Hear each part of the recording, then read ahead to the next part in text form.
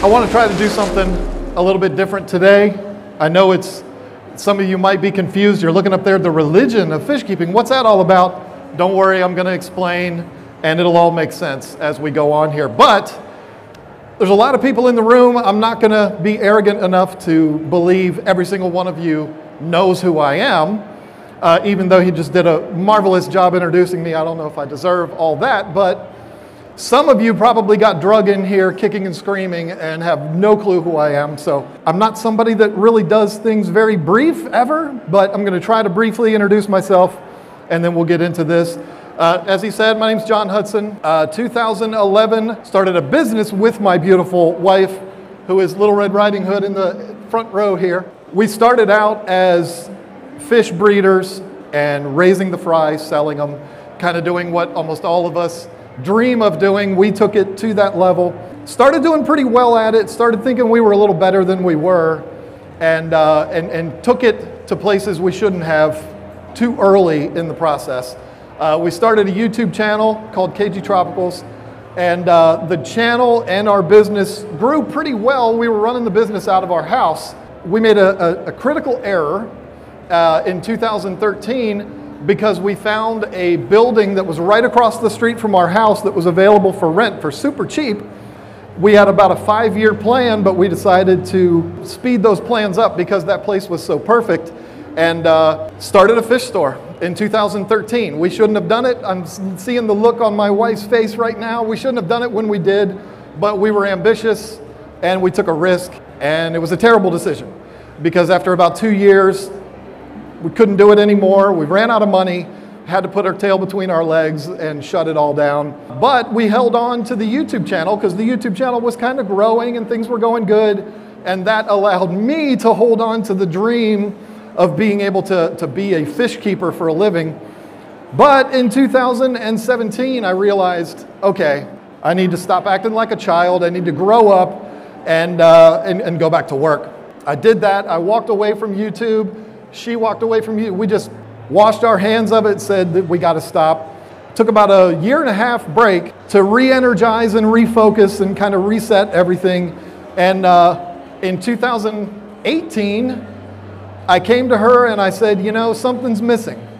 I miss the people. I miss being able to talk to the people and being a part of that community, the community that, believe me, we're going to talk about here in a minute. I missed that. I missed this. Not me standing on stage, but I missed the people. And so started the YouTube channel back up again in 2018, and that's when it finally happened. Things started to progress, things started to do well. We relaunched our website, and now here we are. So everything finally has worked out. We are living the dream now. Not trying to brag, but it's I consider myself the luckiest guy alive, not only to be married to this little Red Riding Hood right here, but also to be able to do what I've always dreamt of doing for a living. So that's kind of the introduction to me, but you're not here to hear my story. You want to hear what is going on with this religion of fish keeping thing. So I've been keeping fish since 1993. And there's one thing I've learned in however many years that is, is that every single one of you, I'm looking all of you in the eye, everybody outside of these curtains, everybody around the world that keeps glass boxes full of water is all, all of you, including me, we are all certifiably crazy. We are all nuts. And you, you know it. I mean, it's, it's okay to admit it. We're all crazy. But the reason why is because of what these aquariums do for us, what they bring to us, not just something pretty to look at, but they bring us hope. They bring us purpose. They give us something to do to distract us from everything that's going on outside these walls. And I have examples that I've learned that I'm going to share with you today that are going to prove that this is something special. It's, it's so much more than just a glass box full of water because aquariums give us that hope, they give us that purpose, they give us something to distract us, kind of like religion does, if you think about it.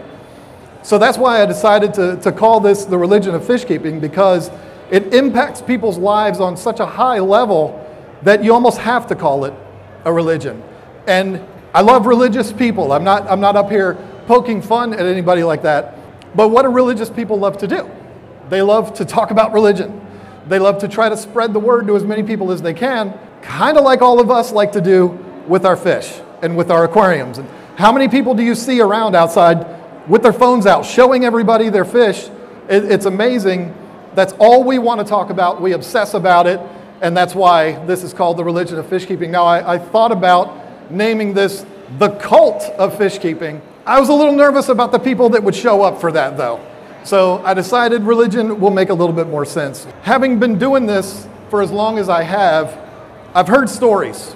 I, have I've been sent stories, and I've even experienced things myself that will make this all make sense. And what kind of keyed me in and gave me this idea to do this talk was something that happened January of last year. So we were deep in the heart of the pandemic. Everybody's lives were falling apart. And something happened during one of our live streams. We do live streams every Thursday night. Not doing an advertisement, I'm just giving you the context of what you're about to see. Something happened during our live stream that absolutely blew my mind and is what's kind of set all of this in motion. And rather than tell you about it, I'm just going to show you. I do think you should address the super chats so that you're not waiting too long in case people leave. And I just, I don't want anybody to be overlooked. I don't blame you. It's okay. Beta Ray Bill, love that name, by the way.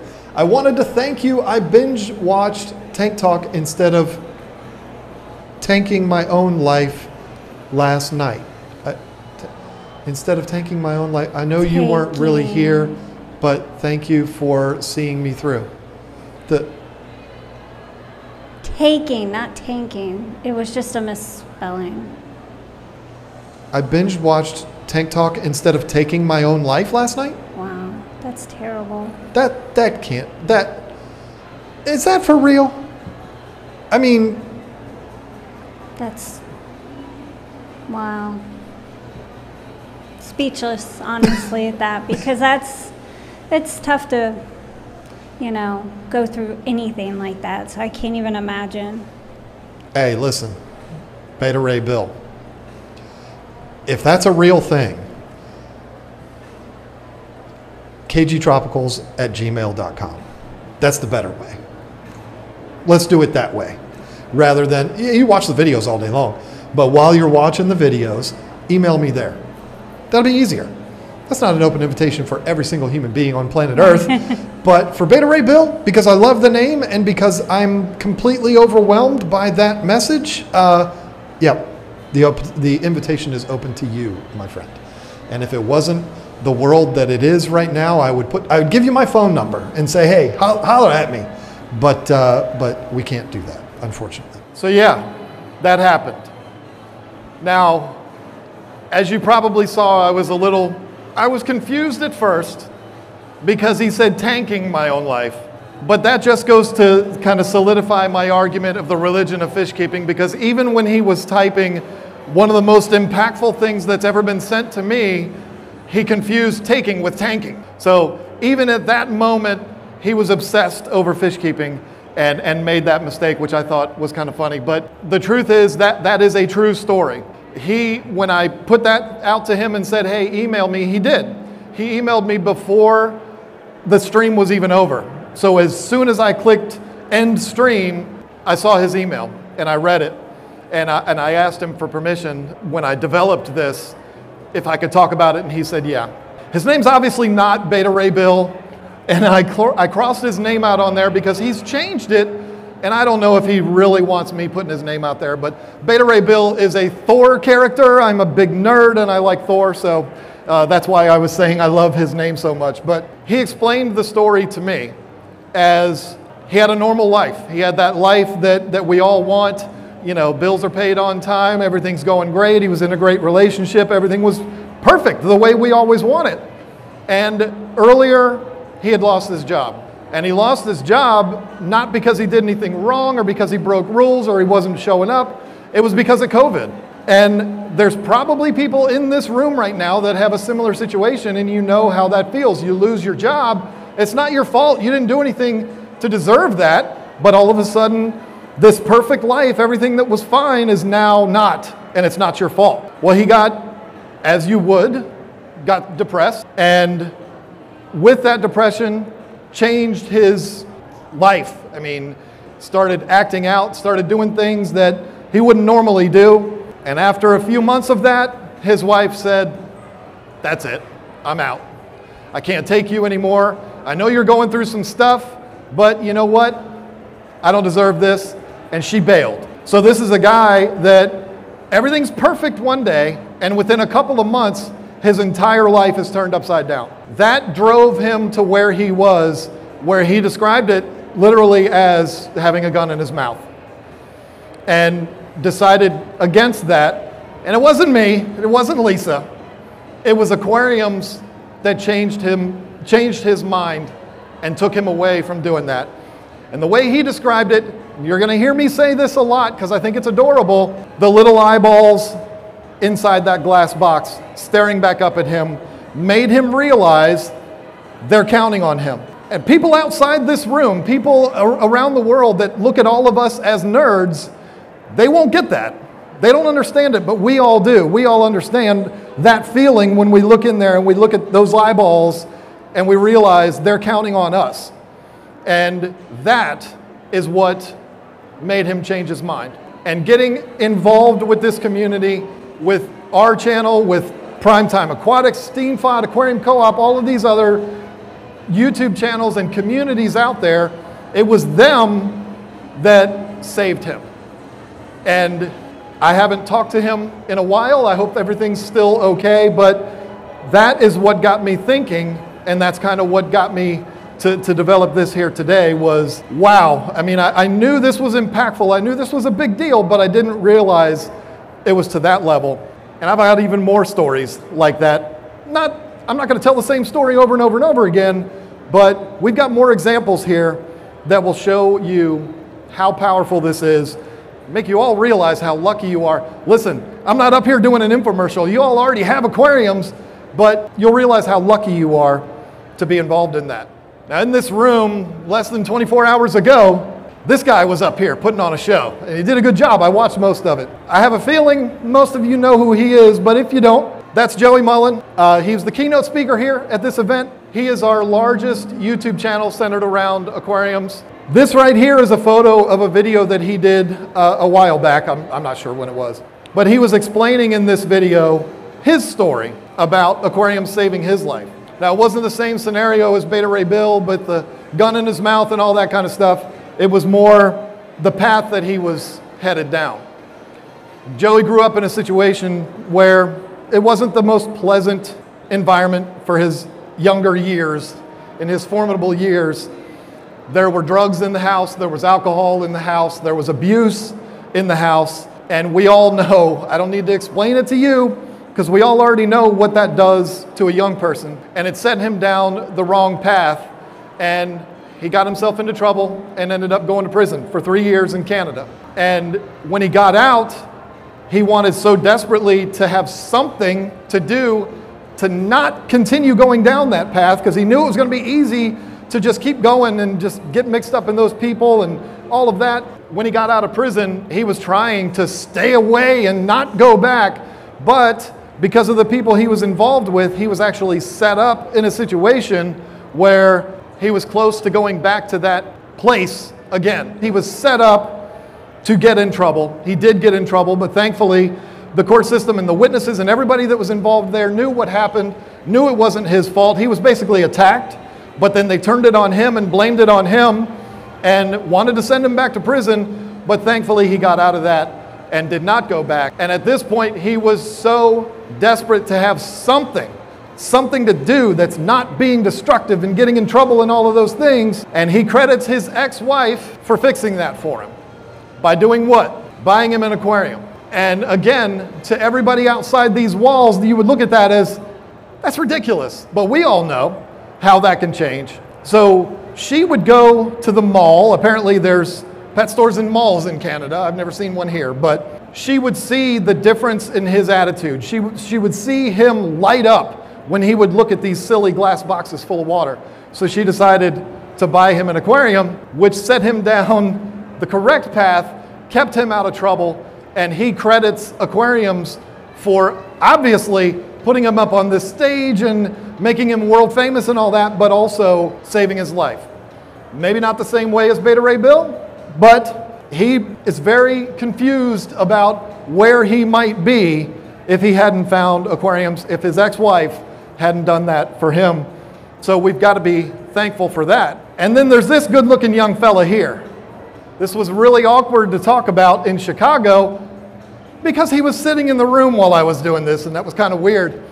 Uh, I'm assuming most of you know who he is, but if you don't, his name is Jay Wilson. He's in a booth here. He works for CJ. Back in his younger days, he's still a young guy, but uh, he made the decision to dedicate his life to serving this country, and he joined the military. I don't have a ton of details because you just don't ask people that, but during his service, he traveled to over 31 countries performing missions. I've never asked him about those missions. Jay is a dear friend of mine, but not going to ask that. But in performing these missions, he saw things, he did things, he heard things, he smelled things. All of the experiences of these missions that he did tore him up, set him in, into a dark path uh, to being diagnosed with PTSD. And the doctors that were all helping him out were trying to find something. We, we need to have something to replace the darkness. We need to have something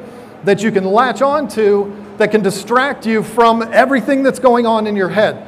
Because if you just keep processing all this stuff that's going on in your head, we know what's going to happen. And he said that he was on the verge, not of suicide. He wanted to be very clear he was never to that level. But what he was thinking about doing was just running away, leaving everything, family, friends, and taking off and going off into the woods somewhere. That's a scary story that we've heard a lot over the years.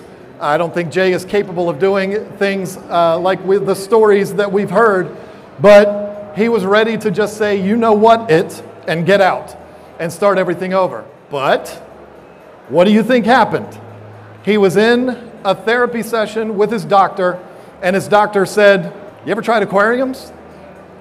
And he thought, Well, yeah, as a, as a wee lad, I did. It was kind of fun. Maybe I'll give it a try. And it's not literally, but figuratively, he was prescribed getting an aquarium.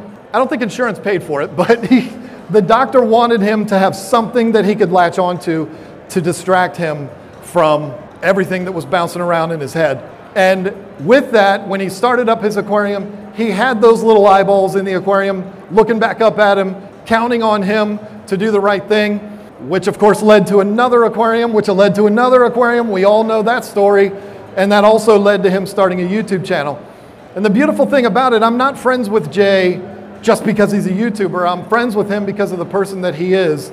Going through all of this, he has become a, a man that I admire very much because he's taken what happened to him and what he battled with all of that going on in his head. He has become a huge advocate for mental health, particularly people that are dealing with issues related to the military. So not only is he just a good dude, not only does he make really cool YouTube videos, not only is he a ball of energy, but he's also somebody that helps countless people all around the world that are battling what he went through. And he does something in his videos that people like me, people like Joey, we would, well, Joey did make that video, but we wouldn't normally want to do, which is go personal. If you go personal, it's one thing for me to say, here's my beautiful wife or, or whatever, but if you go real personal like that, sometimes it turns some people away. But Jay's not afraid to do that because he knows there's people out there that are going through what he was going through, and he knows that he can help them. So, this, this tragedy that was going on in his head was taken away by aquariums, and with aquariums, he was able to take that and take it other places where he can help people out. He's been able to take this and, and do so many things with it where he's not only working for the fish keeping industry now, he's a rep, a national sales rep for CJ, and he's, he's my rep too. We have a website, so that's nice. He's not only working in the industry, he's also creating content, helping fish keepers out, and he's a major advocate for mental health. So I'm going to ask all of you to do me a favor when you're done here. Uh, go over there and see him. give him a handshake, thank him for his service. The guy's been through a lot, and he went through a lot of it so that us schmucks could all sit in here doing stuff like this. And I think he deserves all of our praise, not only for what he did, but also what he's doing on a daily basis. And I'm not just saying that because he's my friend. And then there's this one. This one threw me for a loop. This is another one that, that Lisa and I were involved in, but we didn't know we were involved in. What you're seeing here, the reason why Lisa and I are down in the corner is during the pandemic, during the lockdown phase of the pandemic, we were doing these live streams where we would bring our subscribers in and we would tour their fish rooms. We saw a lot of really good ones, but this one took the cake. This was one of the most awesome fish rooms I've ever seen. And the really cool thing about it, this guy built almost all of these aquariums himself. He built his own filtration. He was kind of like a king of DIY, did his, all of his own plumbing, he did all of his own stuff. Not every single aquarium he built, but most of them he did, including a 560 gallon aquarium, a 650 gallon aquarium, which I think you'll see as we go on here. And it was the most amazing fish room tour that we had. I'm not going to show it all to you because he kind of he didn't want to show himself in this talk, and he also didn't want his name brought up. And it, it's no big deal. I'll re- respect him for that. So you're going to see little clips and stuff like that of all of the different things that he's done. You know I'm going to like him because he's got an African cichlid tank. But there was something going on here that I wasn't aware of. And I wasn't aware of until a while after this happened. He was using this fish room tour for something way bigger than just showing off his stuff. He's a young guy uh, in his mid 20s and was involved in fish keeping like a lot of us were when he was very, very young. His mother got him involved in fish keeping. She told him that she did that because she knew what a positive inspiration it was going to be. She knew it was going to teach him discipline, teach him how to take care of animals, and give him that thing that he can latch onto to be distracted from all that other stuff that's going on. And like a lot of us did, I certainly did, he grew up a little bit and he stepped away from fish keeping for a little bit when he was an older teenager. But after I think he said it was like four or five years, he decided it was time to come back. When he got his own house, he decided, I'm an adult now, I'm going to go back to fish keeping. And fortunately, his mother had saved all of his stuff all of his filters, all of his aquariums, all of, not the fish, but all of the stuff to set his aquariums back up again, she saved it. And again, she saved it because she knew how impactful it could be on his life. So when he decided to get back into the hobby, he was able to gather up all of that stuff. Then he got involved in building his own tanks, set up this amazing fish room, and he could not wait to show his mother the fish room because she's the one that brought him into it but she couldn't see it. Because when he finally got to this stage where it was ready to show off to mom, she couldn't come over because she was bedridden from a terminal illness. And so he said, You know what? I got involved on the, I got invited to come onto the KG Tropicals YouTube channel. I'm going to take advantage of this opportunity. I'm going to go on here, I'm going to show off my fish room, and then I'm going to take that to mom, and I'm going to show that to mom so she can see what she has inspired him to do. So, again, we didn't know this was happening, and he didn't share this story with us until after, but he did exactly that. He got his laptop, he went over to his mom's, and he said, Hey, mom, look, this YouTube channel that I like a lot, they brought me on. Here's a tour of my fish room. Got in bed with her, pulled his laptop out, and played this for her. He said she was crying. She was so proud, she was so happy. And the reason why was because not only was she p- proud of her son, like you would be, but she also knew he was getting ready to go through some real dark times. His mother and him were extremely close, and she knew the end was near. And was so proud to see this, to know he was going to have that thing that was going to distract him from those dark times and unfortunately, those dark times came about two days later after they spent this moment together. I lost my father when I was 23. My last moment with my dad wasn't like that. And I bet we all wished, if we'd lost loved ones, maybe not aquariums, but you know, we all wish that we would have had something like that. Instead, my memory of my dad is just him waving, which is beautiful. He was waving goodbye to me before he died. But he got to share this moment with her. And she got to go knowing he was going to be all right. And he said to me that she said to him, I know you're going to be all right. And that was one of the last things that they did together before she passed. Just like Jay Wilson in Chicago, he was in the room when I gave this talk at Aquashella. This happened a year ago, and he still is pretty, pretty sensitive about it, and he had to get up and, and walk out of the room. That's how powerful this moment was. The last moment he got to share with his mother involved glass boxes full of water with little eyeballs looking up at them. I can't think of a more impactful thing involving aquariums than that. I don't know about y'all, but I need to lighten things up a little bit because that is uh, a little brutal. Here we go. Let me tell you about this little firecracker right here. This is my beautiful wife, Lisa, and yes, that is my dog, Roxy, laying behind her. She's adorable too. I'm guessing most of you know who we are. That's what brought you here today, and I'm thankful for that. But there's something that happened in her and I's relationship that you might not know. We got involved in fish keeping we, real early in our relationship. We were probably six months in. I got an aquarium, and then another, and then another, and then she fell in love with it. She got involved in it, and it became something that, as a young couple, not young in age, but young in the age of our relationship, uh, something that we shared, and it was awesome. But it didn't work out between her and I we, we ran through some, some rockiness. It was nothing extreme, it was nothing bad. I mean, it, it was just one of those things where you got two adults, both with kids, you know, talk, blending a family together, and it just didn't work out. And we broke up in 2010. Uh, it wasn't very long, don't worry. I don't think either one of us wanted it. Uh, she won't admit that, but I know I didn't want it, and can you blame me? I didn't like not being with her. I was miserable not being with her.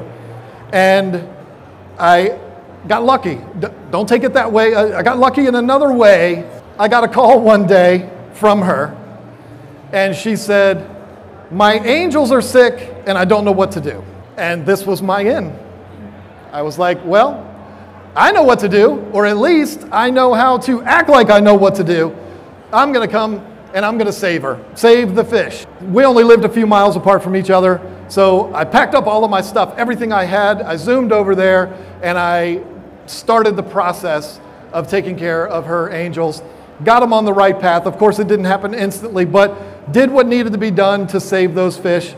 So I was a hero, and uh, I'm very happy to say we have not been apart one day since then. So it was, I'm not making this up, it was literally aquariums that brought us back together again. And it's, it's weird to talk about, but her and I both admit it's aquariums that have kept us together because we have problems just like any other relationship, but we always have this. And the fact that we have a business attached to it now, too, and we're up here on stage talking about it, we have all of this, and it's all because of aquariums. So that is something that not only brought our relationship back together again, and I looked like a hero, but it's also something that's kept us together. We got a lot of other really good things going for us too. Five kids, grandkids, college athlete as our kid. I mean, we got a lot of good stuff happening, but it's been aquariums that have been that thing all along that we've had together, and it has been that catalyst that's kept us together.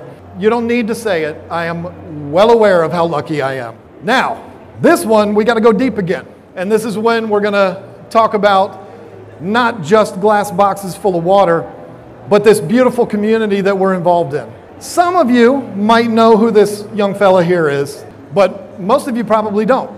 I'm going to tell you. We stream on Thursday nights. And Lisa came to me on a Thursday morning, which is the morning of the stream, and she said, John, you need to see this. And she showed me a Facebook post. This Facebook post was put up by a woman that we did not know, asking for help, not asking us, but asking her friends on Facebook for help with her sister. Her sister had just found out that her five year old son was diagnosed with leukemia. And nobody likes to hear that kind of story. But when I read that, of course, having kids and, and grandkids, of course, I was moved. We didn't have grandkids then, but we do now. Who cares? Father of five, I was moved by hearing that. But then something caught my attention. I said, oh, wait a minute. this just went to a whole new level because this sister and her son, they were a part of our community. I recognized the name. I said, hey, wait, I know her. She's involved in our Tank Talk Facebook group. She's all over our, our YouTube channel. She is a prominent member in this community. She's one of us. So it's not a matter of uh, should I talk about this. We have to talk about this. And I did. And I introduced the world to Candy Overhauls. Don't see heads nodding yet, but I'm pretty sure most of you know who that is. She has become a staple in the aquarium hobby online. And this is her son, Caleb Overhauls, the one that was diagnosed with leukemia. And I talked about it in my stream. That started the snowball going. All of a sudden, other people with YouTube channels started talking about it on their channels. We started fundraisers. We started getting everybody together. The community came together like I've never seen a community come together. Everybody came together to support this family. And the main reason why they did was it's not just the fact that she had a son diagnosed with leukemia, but it was the fact that she was going to have to travel halfway across the country to get treatment for her son. Because where she lived, they didn't have the sophisticated cancer centers. She was going to do whatever she had to do to get her son treatment. And that involved driving halfway across the country to Denver, Colorado every couple of weeks so that he could get his treatment. Naturally, that's going to have a huge impact on their finances, on their relationships, on everything, and they needed help. And guess what? The fact that most of you all know who Candy Overhauls is, you know this, can- this community came together in a big way. Other communities did too, but to see what happened with this community, the way we all rallied around this family to help them out, just like we would hope that they would do for us if we needed it, was a beautiful, beautiful thing to see and it went on for years. That GoFundMe, I don't think ever went away until a little over a year ago, he was completely cleared of leukemia. Went through his, yes, absolutely.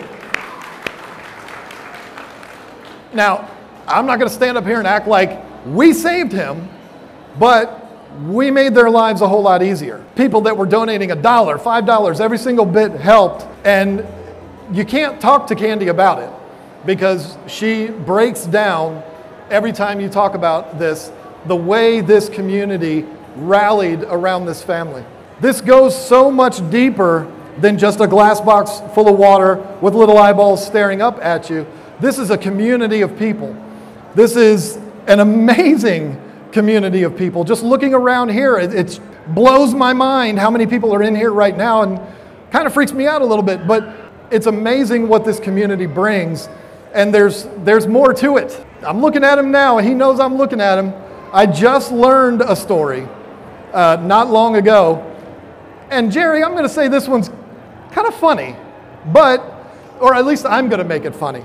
I was talking with Jerry Papa Shrimp, who is the gentleman standing in the back right now that looks just like Danny Trejo, the actor which is not a bad thing. Jerry and I have gotten to know each other over the last year or so, and I, I heard recently that he had a heart attack and had triple bypass surgery, Jerry? Quadruple bypass surgery. But that wasn't the first one. I was talking to him not 20 minutes before this talk started, and he told me that was his second heart attack. I think I'm telling this right. He'll let me know if I'm telling it wrong. But the first one, I know this is going to sound like I'm making it up, but he's right there he was maintaining his aquariums when he felt the tug. And he said, just said it to me, that if he was doing anything else, he probably wouldn't have noticed it. It probably wouldn't have registered to him that something was going on. Because, but the, the motion that he was going through, he went like this. I don't know what that symbolizes, but he was doing something like this with his aquariums. That's when he felt the tug. That's when he reached out or yelled out to his son. They got the ambulances. He's standing right there, so we know how it worked out. His aquariums saved him, but not only that, he made a very clear point to me that it was not only the aquariums, it was this community. This community is full of so many beautiful people. If you know me at all, you know I say that's a beautiful thing all the time. I really get that from Al Pacino and Donnie Brasco, but it's something that I say all the time because this is a beautiful thing that we have. It's not just a hobby, this is a lifestyle. It's a lifestyle that we obsess over so much that it's almost to the point of religion. And this hobby saves lives. Uh, it- to, to anybody that doesn't have a glass box full of water, they would think that's ridiculous. But I just gave you all these examples how you got people with guns in their mouths, you got people heading back to prison, you've got people suffering PTSD, people losing a mother.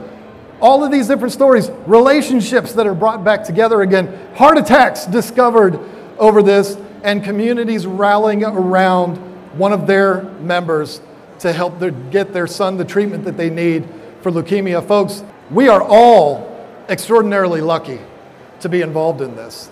And I can comfortably say that to all of you because we're all nerds together, we're all obsessive, and we're all crazy.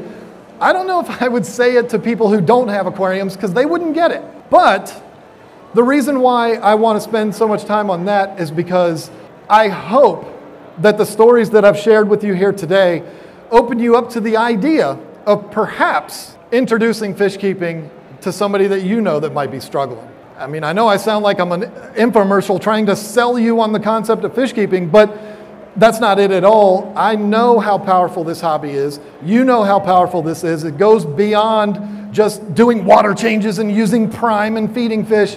It goes so much deeper than that. It can actually save lives. And if you have that person that you know that might just need a little distraction, I don't think it's outrageous to take everything that you've heard today and say, you know what?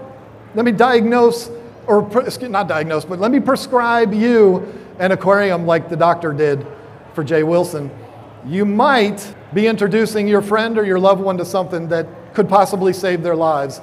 Before I had that conversation with Beta Ray Bill after the live stream, I wouldn't have thought that it was that powerful. I loved it, of course I did. I never went away from it. It's a beautiful thing, but I didn't know it was to that level. But I definitely know now. And since I started talking about this, I've had a lot of new people reach out to me, including Jerry 20 minutes before I started talking, where they've shared stories with me. There's a possibility if they ask me to talk at Aquashella again, I might do a part two. Uh, maybe I'll name that one the cult of fish keeping. But the stories that have come out about this, that have come, been shared with me, are some of the most powerful things you'll ever hear. And I am super proud to, to be able to stand and grateful to be able to stand up here with you all today and share these stories. I hope you realize this is so much more than just a glass box full of water.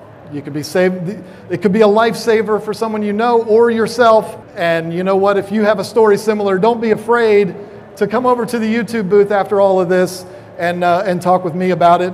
You might become a member of the cult, who knows? But, but that's it. Uh, I hope I was able to open your eyes a little bit. I am extraordinarily grateful that you all took time away from all the fun that's going on out there uh, and spent a little time with me. I want you to do me a little favor, though, not just the go say hi to Jay Wilson thing, but I've been in the YouTube booth for two days now, and I keep hearing these applause come out of here, and I'm like, you know what? I feel like my people can do better than that. So I don't know about y'all, but I think not because they brought me here and they put me up on stage. I'm not saying it for that reason. I'm saying it because it's truthful. I think the folks at Aquashella have done an amazing job putting this whole thing together, hiring some amazing people to handle sound. Thank you, gentlemen, uh, and the video and all of that. I would love it if you all would help me out and let's give a major round of applause for Aquashella.